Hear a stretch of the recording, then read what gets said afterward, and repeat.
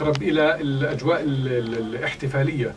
آم، التجربة كانت قاسية جدا على ديما.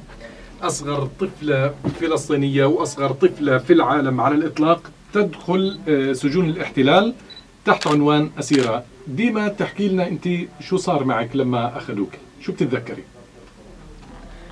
أنا كنت ماشية. آه، كنت ماشية واللي هو حارس المستوطنة آه، رفع مسدسه علي وأجا عندي وبطحني على الأرض وكلبشني في البلاستيك وعصب عيني ودعس على ظهري. المستوطن؟ أمم، حارس المستوطنة. بعدين؟ وبعدين آه، أخذوني على التحقيق. في أي سجن؟ آه، في كريات أربعة. حكوا لك إنه أنت في كريات أربعة؟ أمم. كمان؟ بعد ما خلصنا التحقيق طلعنا على سجن الشران هشرون. أمم. كنت لحالك ولا كان معك كمان ناس؟ آه كانت معي واحدة من- أعتقلوها أنا ويا أعتقلونا أنا وياها في نفس اليوم. في نفس اليوم اعتقلوكم. آه. كنت خايفة لحظة ما اعتقلوكي؟ أمم. كثير ولا شوي؟ كتير. أخذوك على كريات أربعة. كيف تعاملوا معك كانوا يصرخوا كانوا يسبوا آه، ضربوك؟ إيش اللي صار بالضبط؟ حققوا معي بس بس بالكلام. آه آه. ما صرخوا فيكي لا. ولا سبوا؟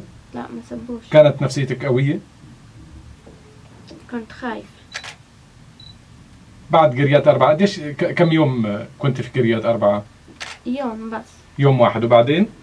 وفي نفس اليوم طلعنا على سجن هشران كنت مكلبشة حاطين ال- الكلبشات في إيديكي ومغميين عينيك طول الوقت؟ لا في البوست آه، لما طلعنا على الشرون لا. يعني مرات كانوا ي... وأنت في الطريق وأنت في الطريق كانوا عينيك مغميات ولا بدون آه، ما يغموهم؟ لا بدون. بدون. وصلتي سجن هشرون إيش صار معك؟ في سجن هشرون آه دخلنا على السجن. بعدين؟ آه بعدين على الساعة ثنتين ونص صحونا عشان المحكمة.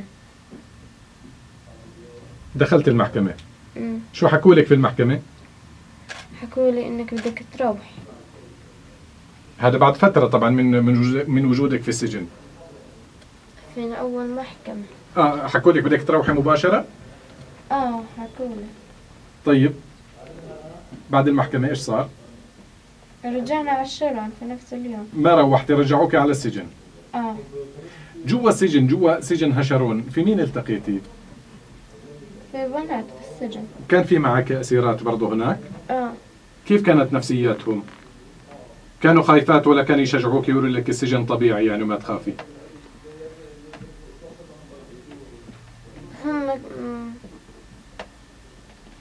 كانوا قويات ما عادي حكوا لي ان السجن ما تعيطيش منه. أنت كنت تعيطي جوا؟ ليش كنت تعيطي؟ مشتاقة لأهلك ولا كنت خايفة ولا إيش؟ لا كنت مشتاقة لأهلي. بدي أحكي لك الحمد لله على السلامة. امبارح روحتي وكان في لك استقبال عظيم. عظيم جدا. شو حسيتي لما شفتي كل الناس والكاميرات والصحافة وعطفة المحافظ ورؤساء البلديات وكل بيستقبل في في في, في هذه الطفلة اللي عمرها 12 سنة ونص لسه ما صرت 12 ونص.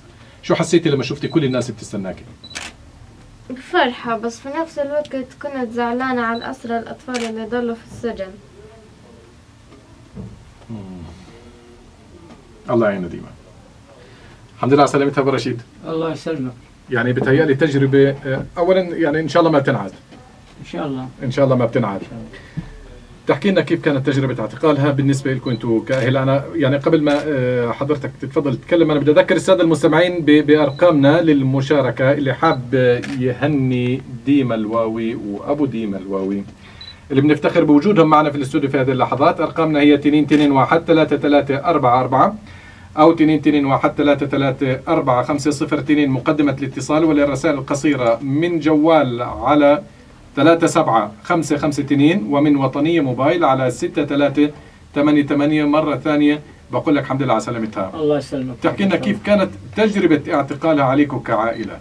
والله بالنسبة لنا يعني كان صعب جدا يعني طفل زي هيك يعني تغيب عن البيت يعني لو ولو يوم واحد أو لا ساعة واحدة يعني. فكيف يعني أنها تخضع في سجون الاحتلال. هذا طبعا وصمة عار على جبين هذا الاحتلال أنه يعتقل طفل مثل دينا هي و- وصمة عار يعني طبعا بكل تفاصيلها هي هي عار. لكن فكرة بأنك تكون أب لأصغر طفلة أسيرة في في مستوى العالم شو مثلت لك هي؟ طبعا هذا من دواعي الفخر والاعتزاز يعني إنه طفل مثلا ديما تكون في سجون الاحتلال. آه، هذا هذا شرف كبير لنا يعني ولجميع الشعب الفلسطيني طبعا. أنا بعتبر ديما مش بنتي لوحدي بنت الشعب الفلسطيني بنت كل حر في هذا العالم ال- الكبير. قديش كان في آه، تعاون معكم من قبل جهات رسمية أو مؤسسات أهلية منظمات حقوقية محامين؟ قديش كان في تعاون في هاي الفترة؟ والله الحقيقة الكل تعاون معنا من من البداية يعني الكل ما قصر يعني في هذا الموضوع على المستوى الرسمي على المستوى ال- ال- المؤسسات الكل الفضائيات الجميع الرئيس ال- الكل. يعني إحنا بنشكرهم كلهم. نادي الأسير بنشكر هيئة شؤون الأسرة آه، رئيس نادي الأسير آه، عيسى السيد عيسى غراقي معالي الوزير عطوفة المحافظ كامل حميد طبعا ليلى غنام طبعا لها جهود كبير والحمد لله رب العالمين. إحنا بنفتخر فيها بصراحة يعني. آه، يعني هاي المفروض يعني هي حجم كبير في الوطن هذا إحنا بنفتخر في هذه المرأة يعني. عطوفة المحافظة ليلى غنام إحنا بنفتخر بكل واحد بدعم طبعاً، مثل هذه طبعاً، العائلة بكل طبعاً، تأكيد طبعا أكيد بنفتخر يعني. بنفتخر بكل طبعاً. حدا كمان بدعم مثل هذه طبعاً. الأسيرة المحررة البطلة اللي هي عروس عروس البلد كلها وعروس فلسطين الحمد بدون لله رب شك. العالمين ما شاء الله عنها يعني مروحة بنفسية عالية وقوية يمكن شوي هيك انبهرت بهذا. الاستقبال العظيم أنا بعرف تماما لكن ما شاء الله عنها يعني مروحة برضه بنفسية جيدة. الحمد لله رب العالمين. هي تفاجأت في الموضوع يعني بس لكن كان في البداية شفته في البداية التقارير يعني كانت وضعها صعب شوي. لما نزلوها من الباص الاستقبال أول استقبال نعم. وضعها يعني صعب شوي. بس عاودت تقبلت الوضع شوي شوي يعني. بكل تأكيد. طبعا آه. هي بتقول بتقول لي لما لما أنا مجرد ما شفت الناس كثير بيستقبلوني فرحت. آه، طبعا فرحة أنت كنت متخيلة ديما كنت متخيلة كل البلد هيك تستناك تستقبلك؟ ولا كنت متخيلة بس أهلك مثلا؟ آه الشرطة حكت لي. شو حكت لك الشرطة؟ حكوا لي كل الناس هذول عشانك. صحيح كل الناس كانت عشانك.